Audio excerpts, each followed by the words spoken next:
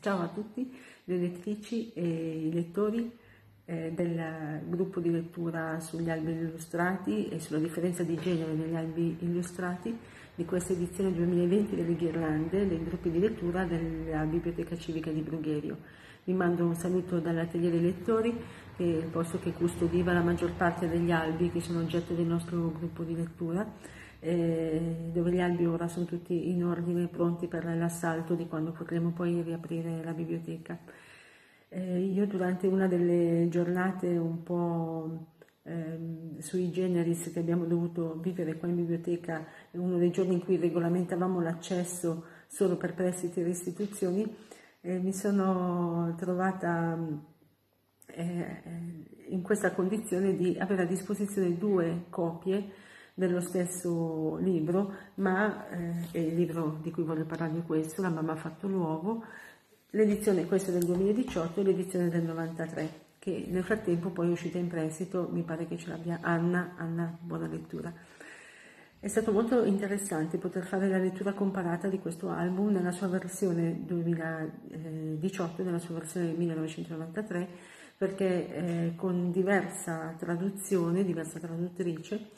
ehm, emerge che c'è anche soltanto nel giro di 15 anni un linguaggio eh, diverso, eh, un riferimento simbolico diverso, un approccio pedagogico diverso, eh, dei costumi diversi. Ecco, mi piacerà sottoporre alla vostra attenzione questa, questo esame comparativo. Come d'altra parte penso che voi abbiate delle cose da dire, come eh, ho già potuto verificare nell'incontro di febbraio, un gruppo eh, bello tonico eh, dove il confronto si è aperto molto facilmente tra le persone. Ecco, eh, quindi vi scrivo poi una mail chiedendovi se mi interessa davvero, potete rispondere qui nella chat di YouTube, se vi interessa fare che io trovi una data e un sistema per incontrarci anche virtualmente. Questo per sopperire un po' almeno a una delle mancanze a cui siamo sottoposti e costretti in questo periodo. Sappiamo che la mancanza è una cosa che ci costa particolarmente e, e di cui ci accorgiamo in particolare in questo momento. Ecco ovviamente senza voler né imporre né pensare che questa sia l'attività più importante della Terra, non lo è, però potrebbe darci un, così, un sollievo e potrebbe ehm, darci una serata un po', concederci una serata un po' diversa, un po' di divertimento. E eh, nell'attesa volevo anche proporvi, e vi manderò il link a questo articolo, anzi vi manderò l'articolo direttamente, la lettura di un articolo, che è questo, chi ha paura delle fiabe di Giovanna Zoboli, che è una responsabile editoriale dei Topi Pittori,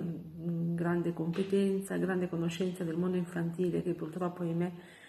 non è una cosa scontata neanche nell'editoria per ragazzi. Questo bellissimo articolo che parte proprio dal libro di cui abbiamo discusso in finale all'altro incontro di, di febbraio ed era il libro, vi ricorderete, La bambina e il lupo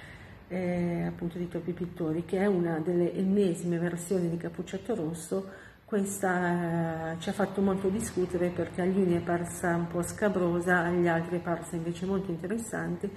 Eh, in questo articolo si dicono molte cose interessanti sulle fiabe e sull'importanza eh, di far sperimentare delle situazioni, anche per esempio la paura attraverso le fiabe, di considerarle un terreno di allenamento un personal trainer, diciamo.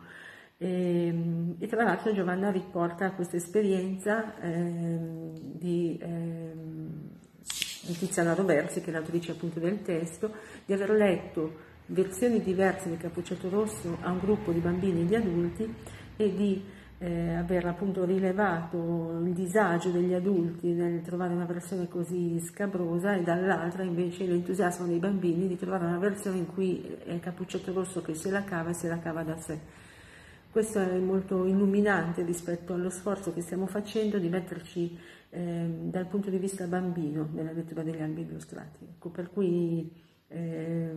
nell'attesa di poterci incontrare o virtualmente o di persona, intanto volevo mandarvi questo articolo. Bene, colgo l'occasione questo, di questo video per salutarvi, salutarvi con molto affetto, eh, ci mancate e far sapere a tutti i nostri lettori, non soltanto quelli di Ghirlandia, a tutti i nostri cittadini e abitué che chiaramente ci mancate, che abbiamo approfittato di questo periodo per fare a nostra volta dei lavori dietro le quinte, eh, per comunque intrattenere relazioni anche con voi e questo è il secondo sforzo che stiamo facendo anche virtualmente, ma eh, per il piacere di poterlo fare perché il contatto personale in biblioteca ogni giorno è per voi una cosa preziosa ma anche per noi una cosa molto, molto gradita e molto gradevole. Quindi io resto a casa, io resto a casa a, a, leggere dei libri e a volerli confrontare con voi, questo deve valere per noi tutti, eh, però troviamo dei sistemi per uscire un po' dalla, da, da, questa tensione ecco, che abbiamo, che ci tocca vivere. Un bacio a tutti.